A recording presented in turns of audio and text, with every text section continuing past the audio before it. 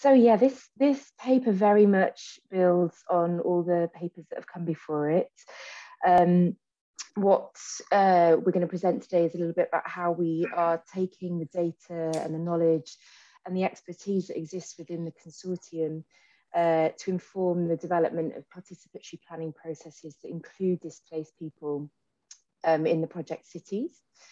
Uh, so I'm going to very just provide a very brief overview of the kind of rationale and, and what we've been, what we like, how we've got to this approach. And then I'm going to hand over to Jackline and to Nassim to talk a little bit about participatory forums that have already been established in uh, Nairobi and also in Jalalabad.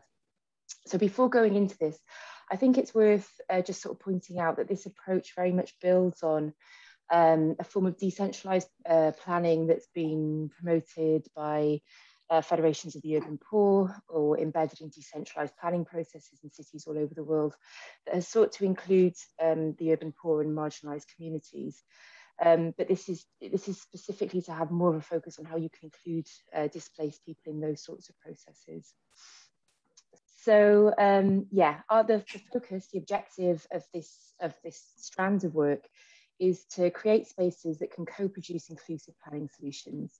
So the, the, sort of the, the objective is twofold. One is to build capacity amongst municipal actors, that's local government and other humanitarian actors, civil society organisations that are operating at the city level to communicate and develop innovative, inclusive solutions to protracted displacement. But there's also an additional objective, which is how we can draw from those processes broader lessons that are relevant to uh, the cities and also global uh, policy actors and practice. Um, the forums themselves, um, so basically what we're, what we're trying to do in each city is to establish a participatory forum that can foster urban responses to displacement based on participatory planning processes. And so initially, these participatory forums are focused on identifying the barriers and opportunities for different municipal actors, recognizing that these exist in very different political contexts to facilitate access to basic services and social protection. But they're also designed to facilitate collaboration between diverse actors that might not all be collaborating with each other to begin with. Um, and that specifically includes including that specifically includes um, displaced communities and low, um, low income communities with the broader objective of fostering self-reliance and supporting the realization of, of rights. Um, the specific kind of objectives that you'll see, and, and these will come through in the presentations, uh, in, in Nassim and Jackline's presentations, is to uh, provide a space, so specifically to create a space where a, a, range of local actors can come together to discuss and engage on issues that are affecting local displaced people and host populations, and to then generate solutions to protracted displacement in the city. Um, secondly, it's to draw on the lessons, the evidence, and the expertise that exists within the broader consortium that have already been presented, some of which has already been presented to you today, to shape policy and practice locally. But thirdly, recognising the expertise that exists within the group and also within the participatory forums to provide technical guidance and support for municipal governments who are hosting large numbers of displaced people. And that will become apparent, I think, very quite clearly in the presentation from Jackline next. So I'm just going to hand over to Jackline. Thank you, Anna. So local strategy for um, Jackline, 2021. You're very, you're very quiet. Can you speak closer to your mic? Uh, can you hear me now? Sorry. Uh, not brilliantly. Hello? What did? Hello? Yes, that's better. Yep. Okay, sorry. so uh, fast local strategy um, for Nairobi um, has been to start by seeking local knowledge and diversity from our forum stakeholders. So usually stakeholders in Nairobi that assist refugees are categorized under uh, various support services they provide such as um, legal, livelihoods, health, um, education, protection, and um, religious service, uh, services. And so from the government perspective, um, government provides services at no national, county, and judiciary uh, levels. So in addition, we also set up fo focus group discussions with host communities and urban displaced people living in Eastleigh neighborhood and Mathare slum in Nairobi. So all our stakeholders uh, total to about 20. So the process of seeking knowledge uh, as a first step has been to engage stakeholders individually in one-on-one interviews spread across uh, about two months. So we termed this as the preparatory mobilization phase for the participatory forum. Um, as a second step to this, uh, we um, setting up a write shop to document policy asks by different uh, local practitioners within the forum and to also package this into a policy brief. And thirdly, to continue deepening our engagement with stakeholders, meaning that then invitations or at least communication is two-way, not just us inviting them to the forum, but we also take part in some of the activities like meetings and workshop, workshops and linking key players at policy level. For instance, national government, municipal government, and the UNHCR towards achieving some of the project's um, goals. So some of our key intended outcomes from um, this uh, phase uh, one is to gain deeper insight on partners' work. For instance, um, impact and the challenges they face, some of which will not usually be discussed at a participatory forum level due to the time limitations. Because sometimes we'll have a meeting going for say two hours, three hours, uh, and we have 20 stakeholders within that uh, forum. So for example, we found out from our one-on-one -on -one interviews recently, um, uh, from one of our stakeholders, that is Uma Safe House, that is based in Eastleigh. It's a community-based organization that provides protection services to uh, legitimate um, asylum seekers and refugees. But funny enough, human traffickers also um, access or at least um, um, wish to hide people behind the guise of seeking legitimate pr protection. So in this instance, therefore, uh, the CBO is faced with security, ethical, and legal, legal challenges in choosing when uh, when and who to offer assistance to. And obviously these kind of, inform of information will not necessarily come out during a forum. And so that's why it's important for us to have these one-on-one -on -one interviews with all the stakeholders. So secondly, one of another intended outcome is to bridge practice and policy through the write shop. And so therefore, we hope to finalize on the policy brief document. And thirdly, to stay up to date with urban displacement at local and national levels so at national level, we have been invited to join the Urban Refugee Protection Network, that's the URPN, which, uh, which usually brings together key stakeholders uh, on a periodic basis, usually on a monthly basis, to discuss urban displacement matters. So the discussions are structured around various themes, similar to the support services provided, that is health, education, protection, um, and so on. And lastly, one of our intended outcomes as well is to continue building and maintaining partner relationships within the uh, PDUW Research Working Group for easier engagement at the participatory forum, which, which is usually held every six months. Um, next slide, please. Anna? Anna? Yeah, it's not my. It's just a bit slow. I'm trying. yeah. Here we go. Sorry. Okay, um, as part of our second strategy, uh, local strategy for Nairobi, uh, we aim to reverse learn and shape outcomes. So through our stakeholder interviews that we've already conducted with government, we have learned that in spite of the encampment policy in Kenya, national government through RAS, that is the Refugee Affairs Secretariat, has been supporting urban refugees that are reasonably self-reliant um, through productive livelihoods. So RAS uh, invited us to two learning exchanges um, as a benchmarking exercise to document to, for us to document um, urban practices on self-reliance of refugees living in different country, country, counties, sorry, other than in Nairobi, that is in Kiambu County and Mombasa County.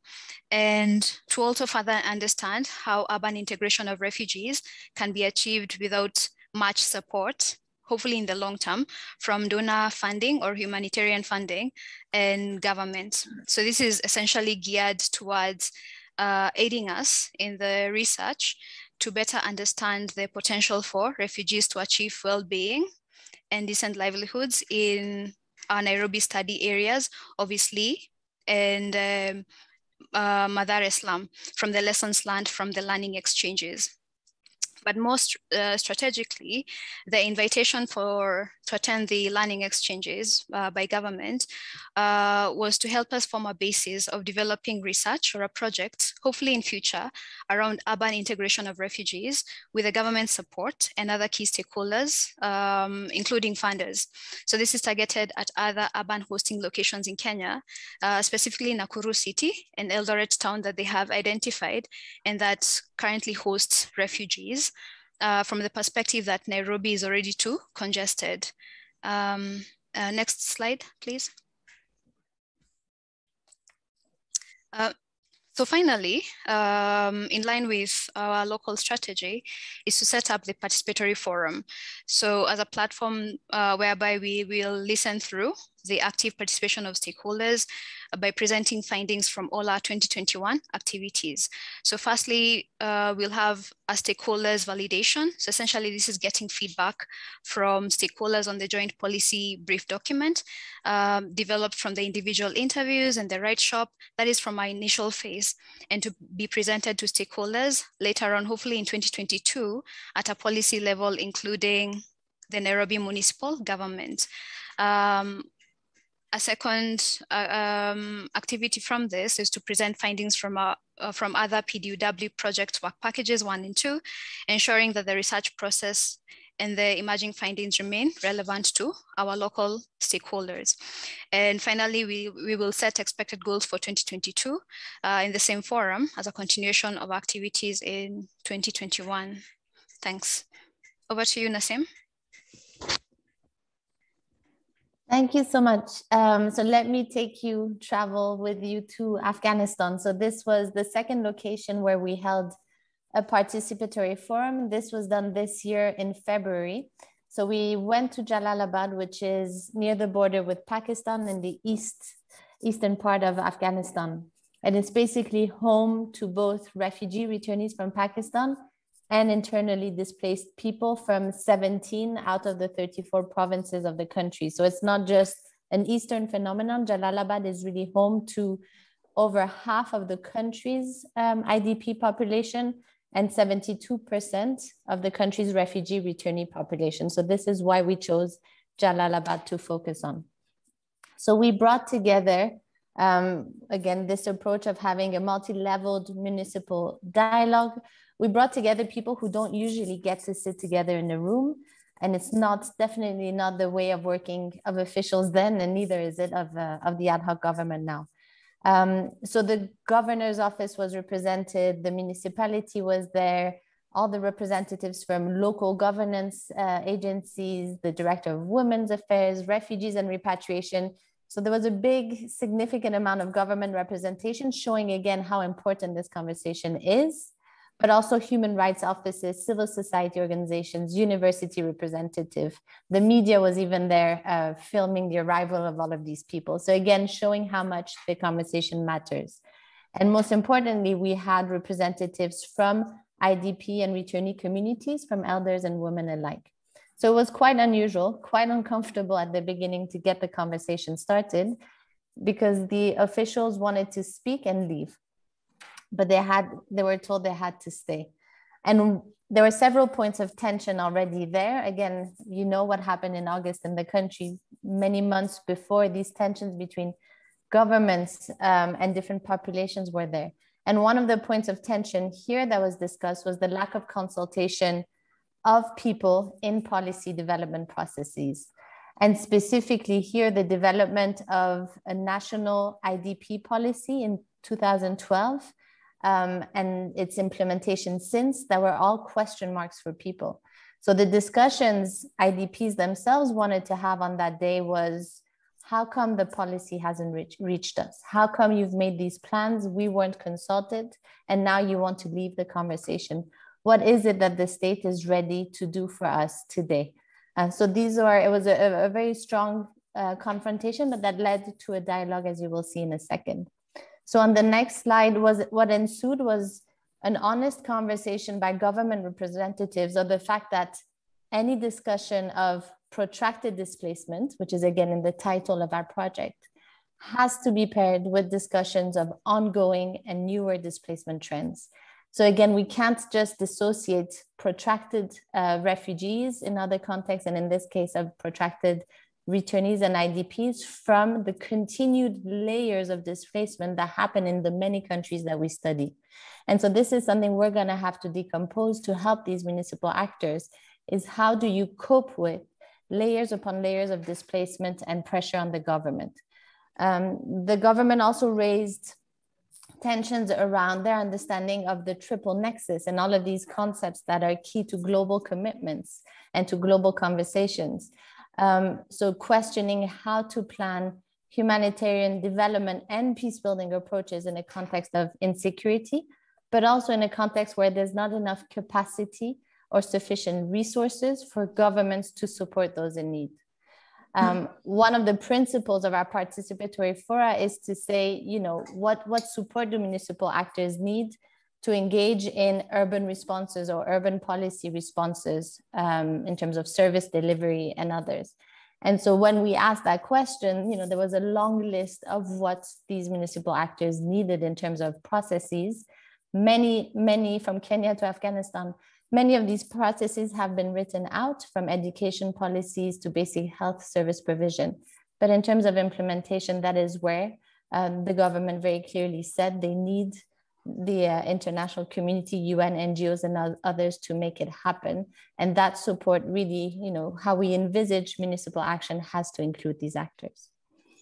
And finally, going to the next slide, when we asked what support against city actors needed, they concluded on the need to support urban planning, as many of the places where the displaced live are informal settlements, often areas that IDPs or refugee returnees started from scratch themselves, showing again how resilient and, and how much agency they have uh, really creating new com communities where they didn't exist but there are also many land allocation sites. So many of these sorts of camps that were created in, in countries like Afghanistan to house refugee returnees and IDPs, and yet they're, they're in no way integrated in any city plan or service planning system. So the government then was planning to set up a Jalalabad city plan and you know and they were open to be guided on how to avoid forced evictions how to plan for resettlement but very much this was still very much the start of that conversation. And obstacles to that conversations were um, processes such as how to register IDPs, how to register work certificates and business licenses. So how to make the process planned and fair. These were the very real challenges that urban actors uh, were confronted with. Uh, and in a way, camps provide a more convenient way to identify, register, and track the displaced. And for governments and for municipal actors, it's much harder in those settings to do that. And so that's what they needed assistance with. Um, and in response, the displaced for many prefer to remain invisible and hidden. So one of the key questions for us will be, how do you reconcile the fact that the displaced want to remain hidden while urban actors want to be able to register them, identify them, to give them access to rights. But there's obviously a huge issue around trust there. And then just to conclude, um, local government and municipal actors felt that too much focus had gone into the national level peace talks um, and national level plans, which we all know by now have failed, uh, instead of focusing on local planning, all of which reiterates really the need to have these participatory fora and these conversations continue despite the changes we know since. Thank you.